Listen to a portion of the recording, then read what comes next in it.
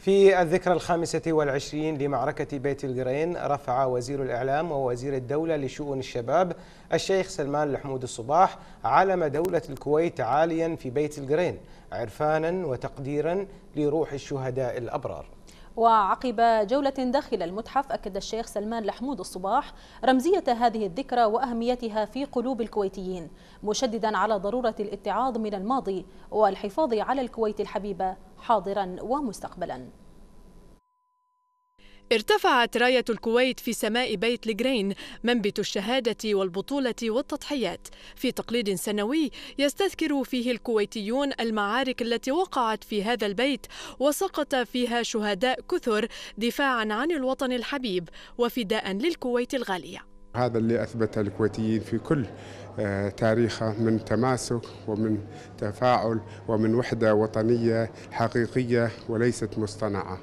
فالله نسأل في آه، هذا الصرح في بيت القرين آه، لشهدائنا الأبرار آه، المغفرة ولذويهم الصبر والسلوان وإن شاء الله نعمل جميعا من خلال استذكار هذه العبر الوطنية للعطاء ثم العطاء ثم العطاء لبلدنا الغالي الكويت. تاريخ الرابع والعشرين من فبراير من العام 1991 سجل نقطة تحول في تاريخ الكويت الحديث. فمن بيت الجرين كانت الشهادة والبطولة لتشرق في السادس والعشرين شمس المجد والحرية. نحن يعني نستفيد من آه، هذا الموقع لتذكير أجيالنا الحالية والقادمة آه، ما قام به هؤلاء الأبطال. وبالتالي مهم جدا أن نعرف هذا الجيل بالأعمال البطولية التي قاموا بها تجاه دولتنا الكويت الحبيبة. المعركة صارت من الساعة 10 8 الصبح إلى الساعة السادسة مساء. خلال هذه المعركة استشهد ثلاثة من أفراد هذه المجموعة. آه، وفي نهاية المعركة تم أسر تسعة.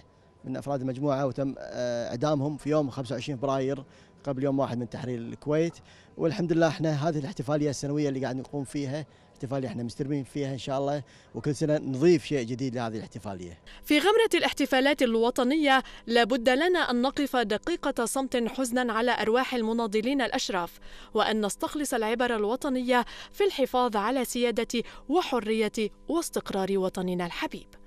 نعم هنا يرفرف علم الكويت خفاقا أبيا في وقفة عز تخلد ذكر الشهداء الأبطال. ومن هنا بزغ فجر الحرية لتبقى الكويت حرة مستقلة وأبية. من بيت الجرين جيهان حبيب تلفزيون دولة الكويت.